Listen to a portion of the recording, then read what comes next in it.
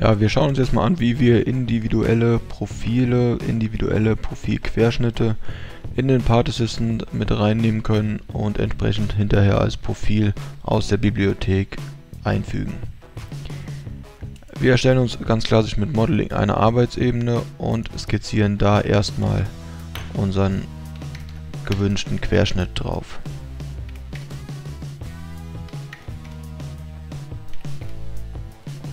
So, wir fügen noch ein paar Rundungen hinzu.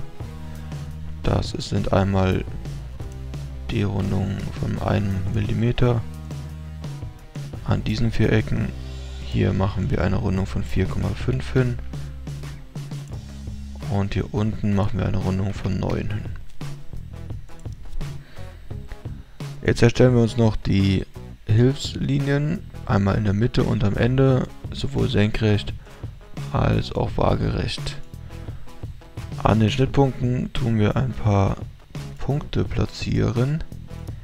Die sind hinterher dafür da, um unser Profil in der Achse auszurichten. Dann können wir auch schon in den Part Assistant reinspringen, wo wir jetzt ein Sonderprofil definieren. Ich packe das jetzt einfach mal in meine Profile mit rein und vergebe ihm dann eine individuelle ID. Die Konturarbeitsebene wählt einfach aus und jetzt kann ich ihm noch eine Bezeichnung geben und ein Standardmaterial vergeben. Ich sage einfach einbinden und es ist hier im Katalog mit drin. Die Arbeitsebene lösche ich mal raus und erstelle uns eine neue. Auf dieser Arbeitsebene werden wir jetzt dieses Profil einmal platzieren.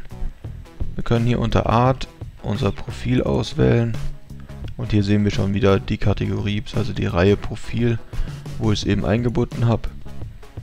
Und da ist direkt schon mein Profilwinkel. Startpunkt ist dieser hier und von da gehen wir jetzt einfach mal mit 200 mm entsprechend ab. Bei der Achse ist es so, wenn wir das anklicken, können wir wie bei den anderen Profilen auch einfach den Punkt anklicken und das ist in dem Fall unser Startpunkt, den wir eben hatten. Einmal erstellen und wir haben es ganz normal drin, wie normalen i-Träger oder sonstige auch.